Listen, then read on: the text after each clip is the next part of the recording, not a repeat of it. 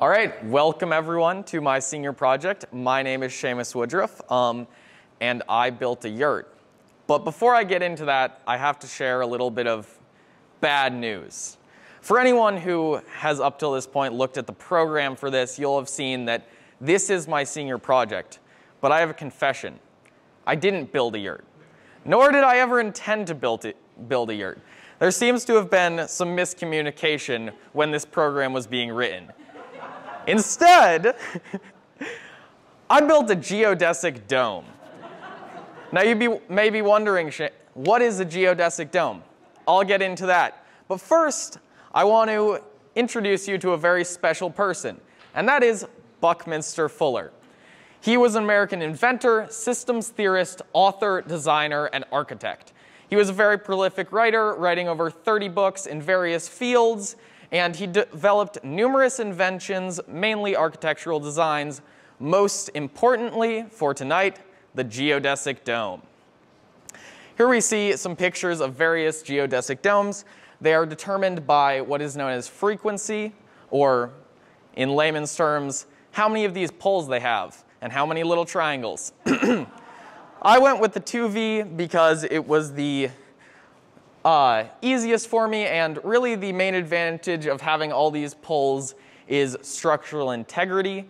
But since I wasn't planning on jumping up and down on it too much, I was able to just go with this. So to start, I had 3 quarter of an inch EMT piping, which I cut into about 65 pieces. And you know, it would have been nice if I could have just bolted them all together, but I had to crush them into shape. So for that, I had to build a hydraulic press, which was the most frustrating part of this whole thing. This is a diagram of the basic idea, with this being a simple pump bottle jack and then an aluminum frame. So I got right down to it. There you can see my bottle jack. I began cutting out pieces of aluminum, measuring them up, putting them together, and finally drilling holes in them so I could bolt this whole contraption together. Here's the V1 with a nice aluminum plate for crushing. However, that was not a very exact way to go about it. So instead, I welded this steel crushing top for my thing, and here we see V2, and here is me crushing a few poles. Very exciting. However, not very exact way to go about it. The whole press tends to shake around a bit, can't get very good bends in your poles. Back to the drawing board. Here you can see me with my updated version. Very proud of this. Here's an example of my excellent photography skills. Spot on. So there we go. Bent all the poles. Took a long time. Couldn't feel my hands by the end. Probably shouldn't be doing this in winter in a barn. then I drilled holes in them, which, uh, you know, for 65 poles and a whole bunch of ends became somewhat mind dulling by the end. But we got through it with the help of my siblings. Now, here we have a little di diagram of how it goes together we have two separate lengths of poles. We have the A poles and the B poles. The A poles are longer, the B poles are shorter. It's not really as symmetrical a design as you might think with the alternating five stars and then six-sided um, things. So that's the basic design. We started putting it together. Here you can see it laid out on the ground. Got the first level together. It was very cold, so we called it a night because I couldn't feel my hands. Next morning, we got it together like this. Very exciting. Everything was going together great. And um, then I came to the realization that neither myself or my sister is tall enough to get the top on. So I called in my not so vertically challenged friend, Owen Stephanakis. And after constructing the top right here, we put Owen on some step ladders, which unfortunately I don't have pictures of, and made him hold the whole thing over his head while I bolted it together. And here it is, completed, which I was very happy that it all went together without too much uh, struggle and got that together. Here's some tests of its strength. It can hold me. Even more impressively, it can hold my little brother Dara. Um, so yeah, you may now be wondering, Seamus, why do you build a metal dome?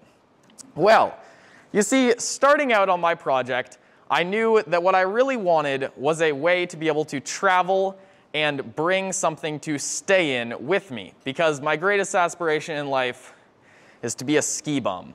So for that, at first I wanted to build a trailer, but trailers are very expensive and take a lot of time and effort and materials.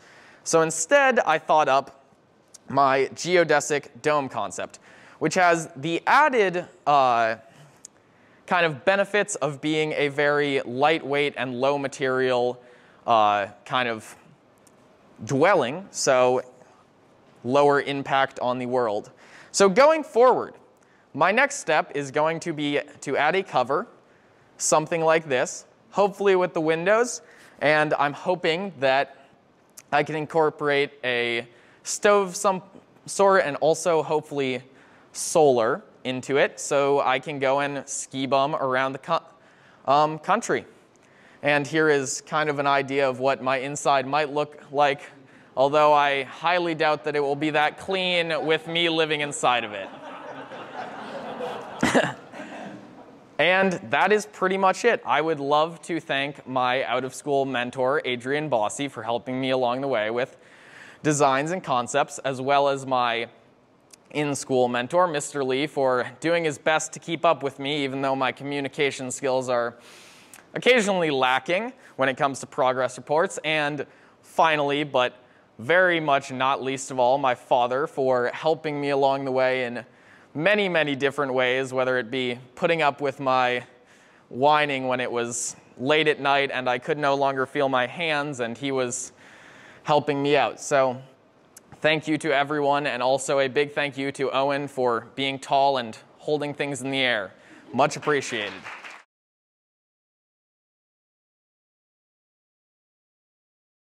You see, this is one of those things. My main idea is that quite possibly I'll try and reach out to the communities in which I'm going to to find other six foot plus individuals to help me set up. You know, also, alternatively, I could just pay for Owen's plane tickets whenever I set up in somewhere and just not move for a while. So, yes, I imagine that Owen may be somewhat required.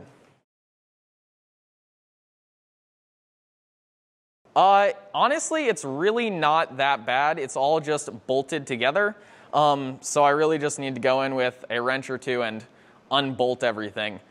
It's not a lot of complex parts. There's just two sets of kind of identical pulls, longer and shorter ones, and then pretty much all the hardware for putting it together you can buy at any hardware store in the country.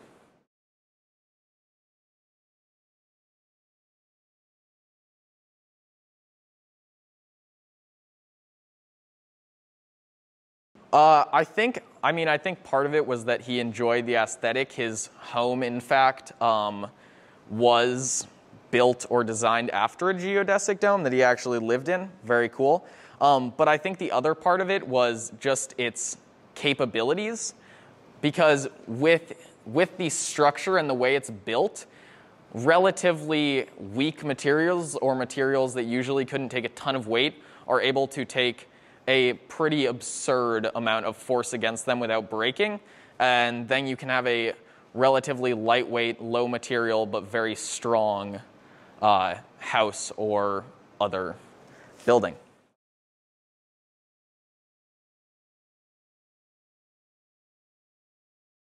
Yeah, I, I think the biggest part once I finish making it is probably going to be the cover because the poles all together can fit into pretty much any car, honestly. I bet you could fit all of them pretty easily onto this table, maybe like stack this high, this, and they're all about that in length. So it should be relatively portable.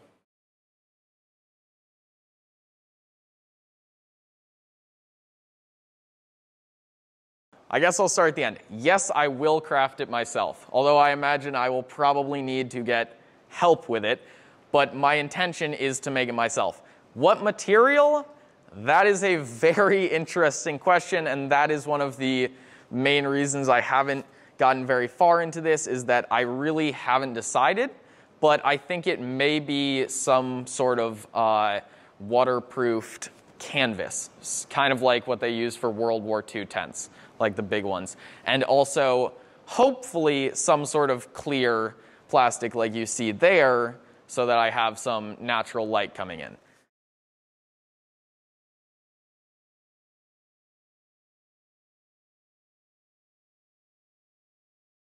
I don't really intend to ever build a yurt.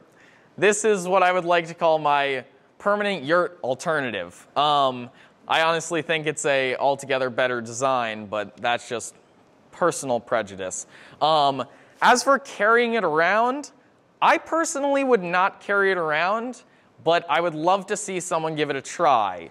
It is really more meant to be transported via vehicle, although if you have a few people and want to carry it, it's not terribly heavy, but for one person, it's not exactly realistic for long stretches.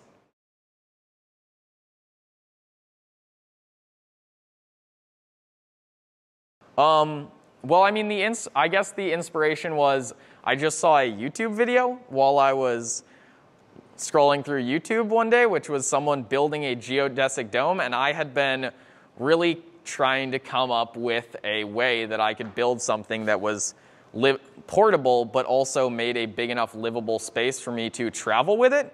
And when I saw that, I was like, oh, that's awesome. Because yurts are pretty cool, but domes are even cooler. And uh, so I was just like, this seems really cool. And I talked to my dad about it, and he thought that it was definitely doable. So I dove in and went for it.